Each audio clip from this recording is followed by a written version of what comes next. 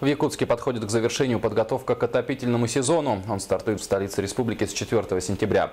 По традиции первыми тепло получат социальные объекты. Это школы, детские сады, медицинские учреждения. Подготовка к сезону на сегодняшний день выполнена на 90%. Задержка в основном связана с отставанием от графика ремонтных работ в школе номер 34 и поздним поступлением средств в медицинские учреждения. Тем не менее, 15 сентября к теплу должны быть подключены все жилые объекты. Отопительный сезон, мы думаем, начнем ну, без больших проблем. Но есть работы, кото- которые у нас пока не закончены по микрорайону Марха. Сегодня глава это заострил. На контроле есть замечания надзорных органов, это со- стороны Ростехнадзора и прокуратуры города Якутска. И они в работе штаба постоянно участвуют. Будем решать эти проблемы, как говорится, э, оперативно и своевременно.